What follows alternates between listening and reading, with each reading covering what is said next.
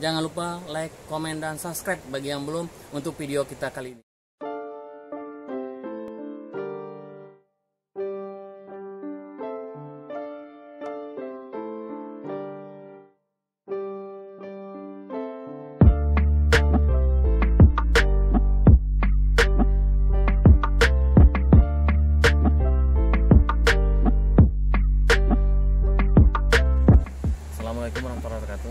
Teman-teman semuanya Kita sekarang berada di greenhouse Tanaman organik Bayam Eh, Nanti bayam ini akan disuplai ke Pengumpul organik Dan nanti eh, teman-teman di sini Ada beberapa greenhouse Semuanya akan dibawa ke Dramaga Pengumpulnya bagi teman-teman yang belum like, komen, dan share, silakan subscribe di video kita kali ini.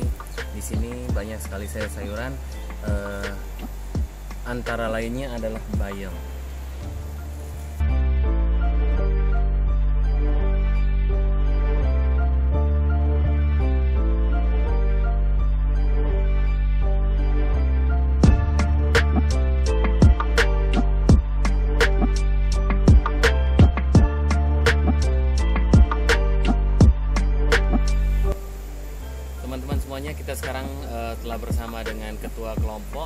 Pak Sukardi, kelompok Mekartani Desa Ciaruten Ilir, Kecamatan Cibungbulang. Nah, ini adalah di dalam greenhouse yang tanamannya tanaman bayam, bayamnya organik.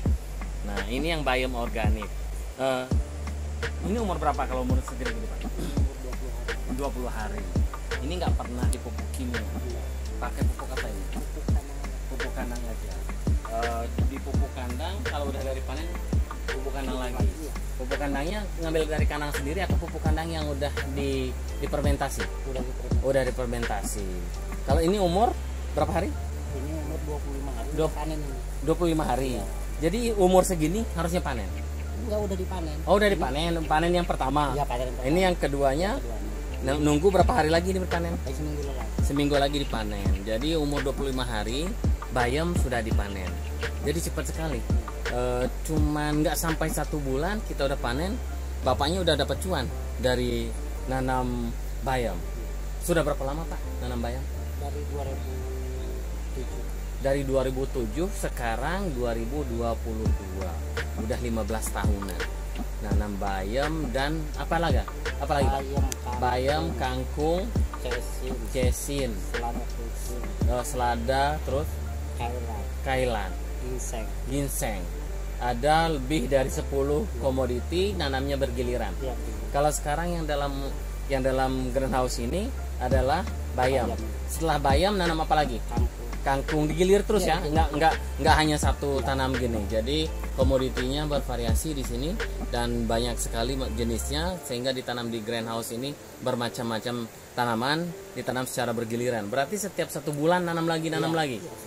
Ini kalau di dalam ini digemburkan lagi, gemurkan lagi pakai kultivator. kultivator lagi, digemburkan lagi, baru nanam lagi.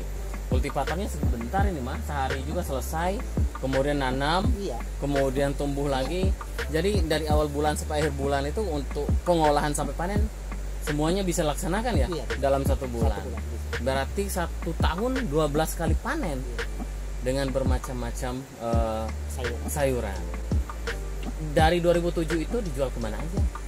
yang sisanya itu yang pertama nyukup itu ATP dulu Oh, pokoknya yang besar-besarnya yang bagusnya Ya. ke sana dulu, Ya, ke ke ATP dulu, dulu, kemudian kelebihannya Kelebihannya baru ke pasar baru ke pasar becek, yang jelek-jeleknya ke Iya, pasar pasar becek. becek.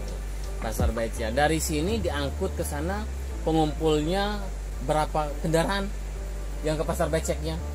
Nyampe 30 Sampai 30 30 mobil 30 mobil setiap malam, setiap hari itu setiap hari dia berangkat pagi, siang. berangkat jam 2 nyampe malam Oh, jam 2 berangkat nyampe malam. Jam Jadi enam. setiap harinya di sekitar kelompok tani ini 30 mobil membawa sayuran dari eh, Cibung Bulang ini Cibung Bulang ke- berangkat ke pasar-pasar. Ada berapa pasar biasanya tujuannya? Semua pasar keliling Jakarta juga masuk Oh, pasarnya banyak semua di Jakarta dimasukin. Masukin. Jadi satu mobil satu pasar. iya Oh, satu mobil berarti sampai 30 pasaran Iya. yang disuplai Iya. dari sini. iya Jadi hebat ya orang sini sampai ngasih makan orang Jakarta semua ini sayurannya. kalau dulu nggak ada dari sini keteter ya Iya, sini banyaknya 30. Iya. Ini baru satu kampung ya. iya mah satu desa ini ada beberapa kampung. iya beberapa Jadi setiap kampungnya eh, sedesa lebih dari 30 jadinya. lebih Ini satu kampung aja 30 kendaraan. iya. dari mm, kampung desa mm, kampung Ilir Hmm, ada 30 an ada 30 mobil. apalagi di daerah lokasi kampung Yang. Panon ya gitu di Bula ada Itulah teman-teman eh, petani sayuran kita di Kabupaten Bogor. Saking banyaknya sayuran, sehari pun dia bawa eh, ke Jakarta itu 30 mobil. Mobilnya call, itu pick up semua oh, pick up, mobil pick up, 30 pick up. Berapa banyak itu yang makan eh, dari sayuran di sini? iya Dari semuanya dibawa ke Jakarta ya? iya iya Tidak ke Bogor. ke Bogor juga masuk Oh, ke Bogor juga masuk. Jadi Bogor dan Jakarta. Iya, totalnya semua aja Totalnya semua di- dijual ke sana. dari jam 2 sore Siang, iya, siang ini, nyampe Nyampe malam. Sampai malam jam jam 9 Berangkatnya bergiliran 30 itu kan? iya, Iya. iya. Wah. masing-masing itu masing-masing ke pasarnya. Pasarnya mm, jam 6 udah jam 6.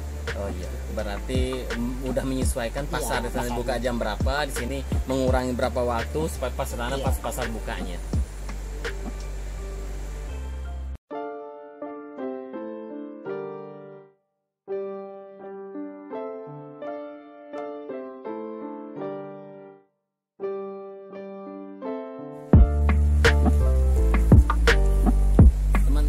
Ini adalah tanaman bayam secara organik. Jadi bayam ini organik. Dikatakan organik, lahan ini sudah disertifikasi organik. Setiap satu tahun dilaksanakan verifikasi organiknya. Jadi bukan hanya pengakuan petani, telah diakui oleh eh, badan yang mengeluarkan sertifikat organik. Jadi bayamnya ada tiga orang di sini yang berusaha eh, usaha sayuran ini dalam bentuk organik yang di dalam eh, apa namanya nih Eh, greenhouse semuanya adalah organik. Ada tiga greenhouse di sekitar sini. Sedangkan yang di luar greenhouse adalah tanaman yang bukan organik. Terima kasih semuanya teman-teman. Jangan lupa like, komen, dan subscribe bagi yang belum untuk video kita kali ini. Terima kasih. Assalamualaikum warahmatullahi wabarakatuh.